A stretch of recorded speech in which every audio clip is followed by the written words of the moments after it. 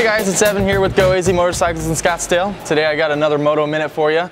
Today we're taking a look at the 2019 Ducati Panigale V4S. Ducati, they're globally recognizable, so even if you don't ride a motorcycle, you probably have heard of the brand Ducati. This is their latest generation of superbike. Um, it's actually almost captivating. You could spend hours looking at this bike.